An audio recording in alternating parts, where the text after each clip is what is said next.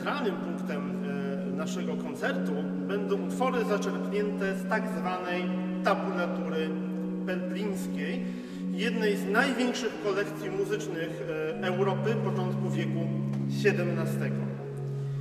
Tabulatura dla tych z Państwa, którzy być może nie pamiętają e, znaczenia tego właśnie tajemniczego troszeczkę słowa, przypomnę, że jest to specjalny system zapisu stosowany E, na przykład w grze na instrumentach szarpanych, dzisiaj gitarzyści korzystają bardzo często z takiego zapisu uproszczonego początkujący muzycy, ale także e, na instrumenty klawiszowe. Bardzo chętnie ten uproszczony sposób zapisu był stosowany właśnie w XVII i XVIII wieku.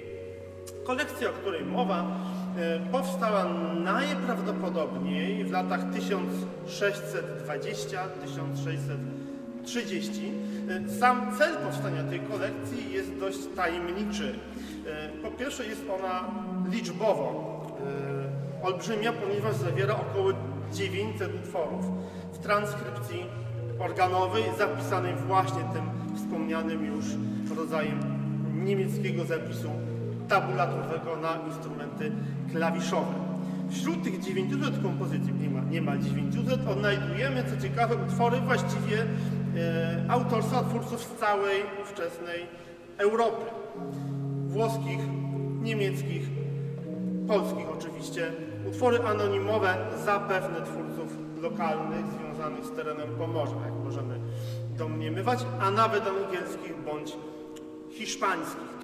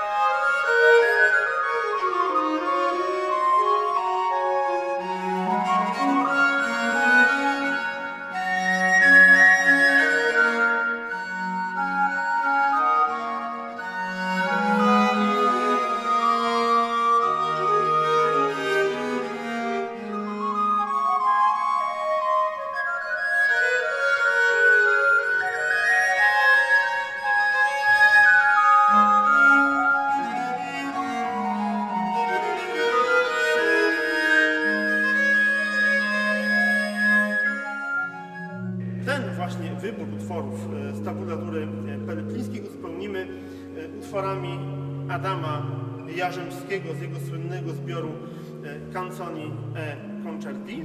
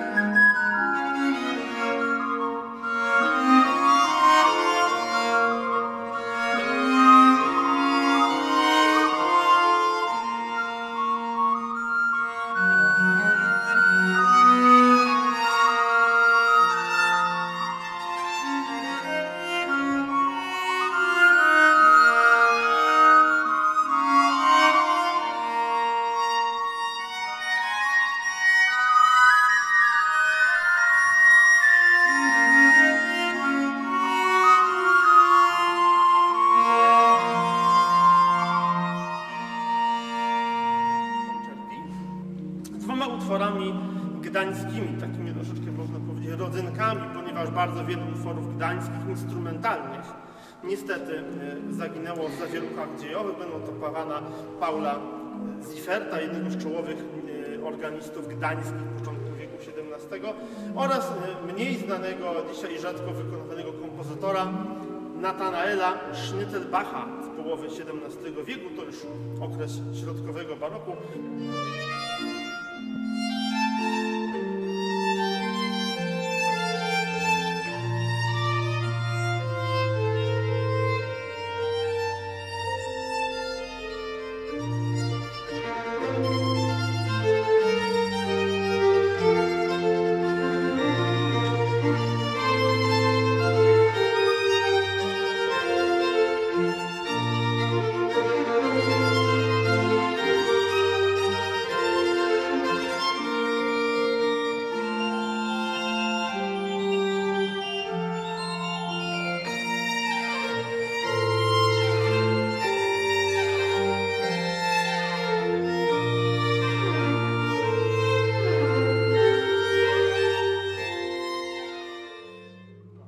A zatem e, zapraszam do e, wysłuchania muzyki Pomorza Gdańskiego początku wieku XVII.